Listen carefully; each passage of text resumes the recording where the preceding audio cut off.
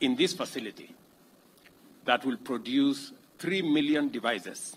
And those 3 million devices will be 30% cheaper than if we had imported them complete as units.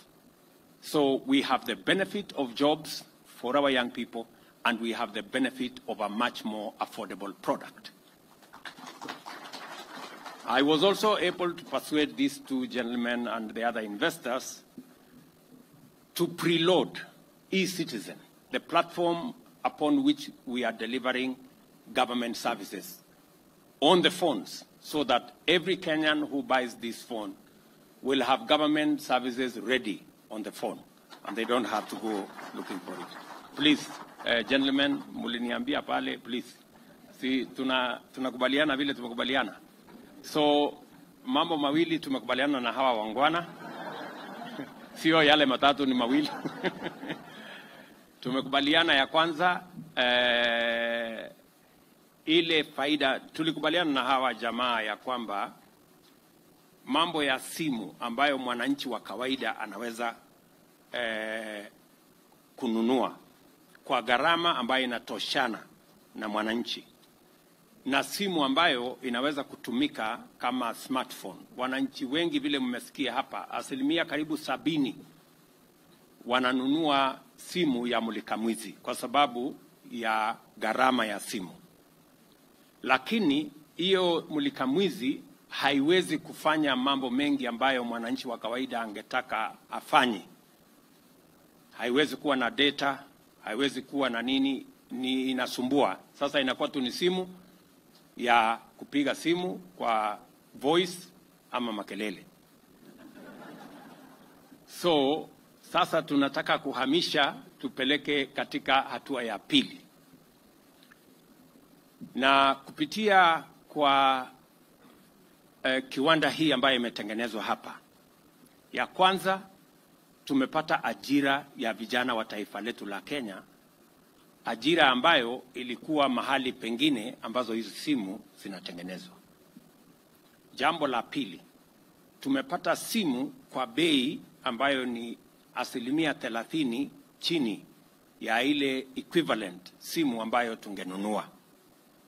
Ya tatu, sasa tunaweza kucustomize hii simu. Nimesema hii simu ambayo sasa tumelaunch leo ni smartphone. Bei yake vile niliwaeleza Wakenya ni dola hamsini. Nilikuwa nimebagain na hawa jamaa dola arobaini, wameniambia lazima iwe dola hamsini kwa sababu wameweka data pia huko ndani, kwa sababu wananiambia hii simu smartphone haitakuwa ya faida kama uko na simu ambaye kazi yake tu ni wewe kupiga makelele ya voice. Wakaniambia lazima tuweke 10 dollars ya data ndio isaidie so that we can unlock the full poten- potential of a smartphone. It's good to have the phone, but it's also better if you have it with data that is going to support the usability of this phone because it's not just a phone like Mulikamwizi where you make uh, voice calls. And namba ya tatu, nime, namba nne nimekubaliana na wao leo asubuhi, nimewashawishi ya kwamba watuwekee e-citizen kwa hii simu ili mwananchi akinunua hii simu tayari e-citizen iko hapo, anaweza kutafuta na kufikia services ama huduma ya serikali. Ile gava mkononi sasa itakuwa ndani ya hii simu as a, as a, as a standard.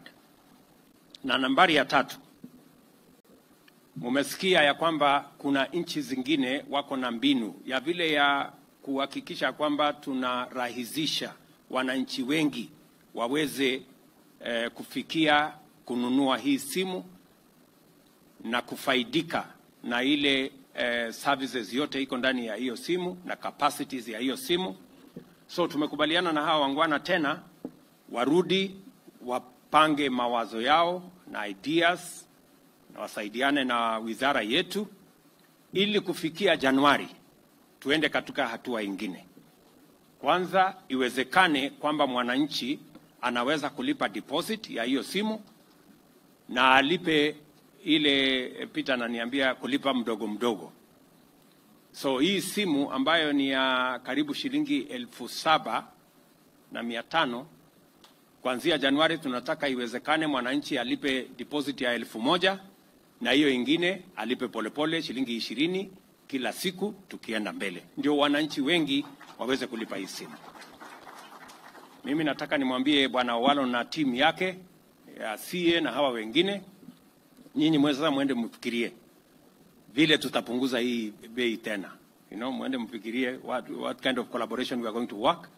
Ili mwananchi wa kawaida hii simu ya elfu saba tuweze kama tunaweza kuteremsha tena ikuje shilingi elfu mbili ama elfu tatu hapo mbele, na tutajua vile tutashirikiana, kwa sababu tunataka simu ambayo itamwezesha mwananchi afanye biashara, mwananchi aendelee na communication, mwananchi apate services ya serikali ndani yake, na tuweze kurahisisha biashara, kurahisisha huduma ya serikali. Na sio lazima mtu aende kwa ofisi fulani ama aone mtu fulani. Tunaweza kufanya kazi yetu vile tunaendesha biashara ya kukopesha pesa kwa Hustler Fund. Hakuna mtu anakutana na mwenzake, hakuna komiti, hakuna ofisi ya kwenda. Komiti ni simu na mwenyewe, finish, tunasonga mbele.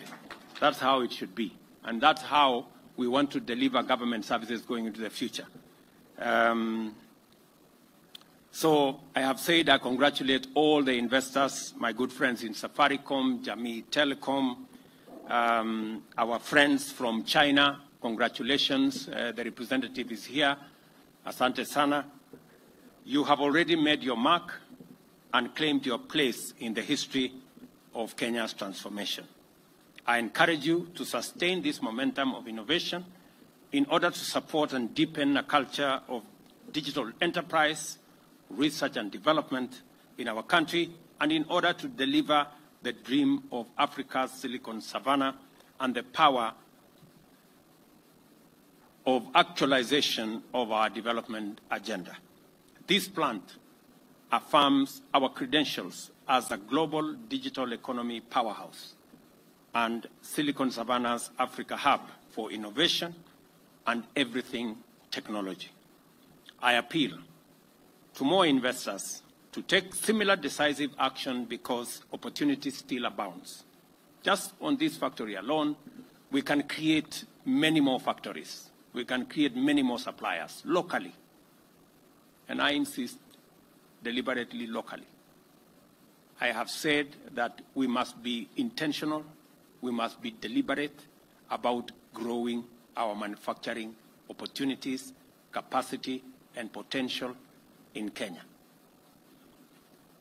As I said, and we put it in the budget, we also put uh, the, the, the interventions that have enabled this factory in the budget, that we must grow our local manufacturing uh, capabilities, whether it is in cement, in steel, in timber products, in technology space, it must be intentional. I'm very happy also that the conversation I have had with EDAC is that they want us to market these products beyond Kenya. I want to assure you that I will lead the charge in making sure that the products we get out of this factory, the products we get from all our other factories have access not just to the Kenyan market, but to the regional market, to the international market as well. Because we can make the finest of products. I am already getting information that our collaborators, the collaborators of uh, Safaricom and Jamii Telecom in this, are already saying the human capital in Kenya is first class. And we have said that before. So we want to deploy this great human capital to get the products that we can use to drive our own transformation, our job creation, our export-led economy, and be able to uh, grow our economy in that context. Um, we have a pool of talent, as I have said, and human capital available on this side of the world, and a government that is ready and uh, that is ready to support initiatives that expand access and create jobs. And we want to make devices, even cheaper, using means like the Universal Service Fund and other interventions. And I am happy that uh, the people in charge of Universal Service Fund are here. You have heard my pronouncement. Please work with industry so that that universal fund becomes truly universal by making it possible for more Kenyans to access uh, these uh, devices. I know when I mentioned uh, in one meeting, I attended a meeting of uh, Kenya Chamber of Commerce. And I told them that we were working on a program where we will end up with a 40, 50 dollar device.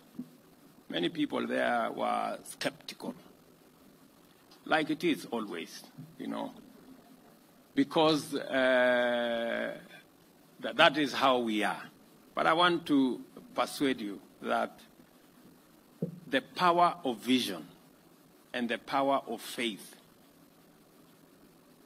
cannot be replaced by anything else. You know? We have many people who, whenever they hear me speak about the future of Kenya, they say, oh, William Ruto has made another promise. I made a commitment about the device, these phones. It looked like a promise. Today it's reality. And it is because of the power of vision and the power of faith.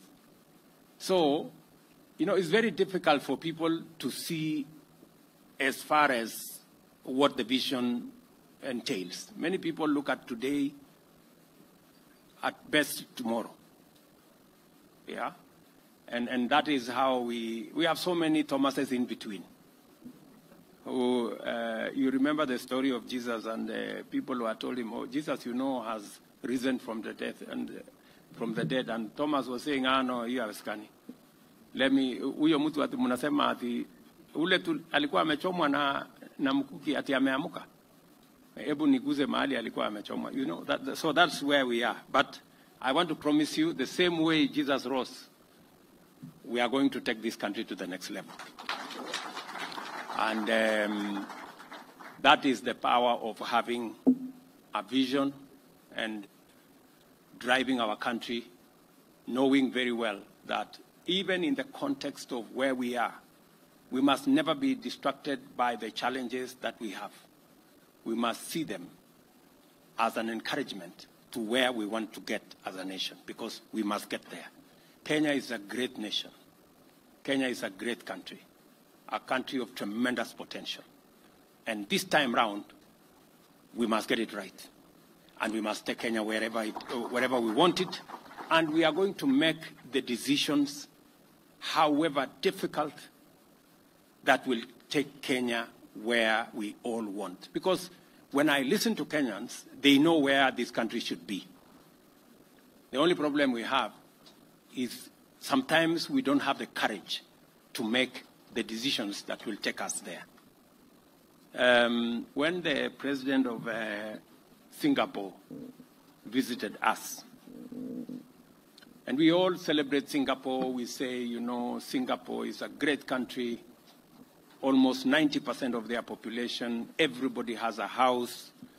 It is uh, moved from, it was the same category as Kenya a few years ago. Today, it is in the first world.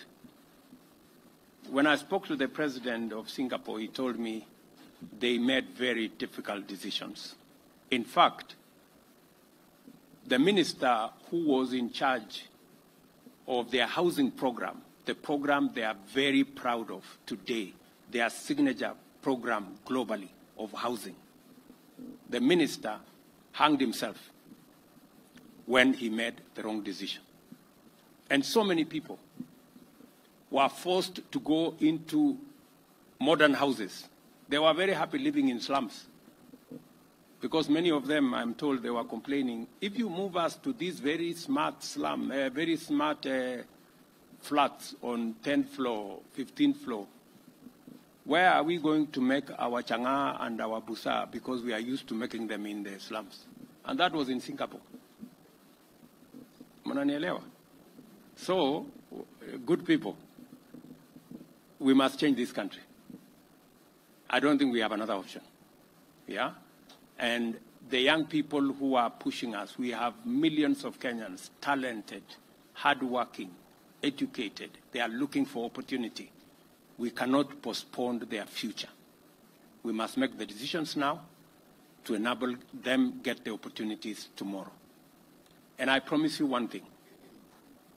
I will make all the decisions necessary to make Kenya the great country we all want it to be. Without a doubt.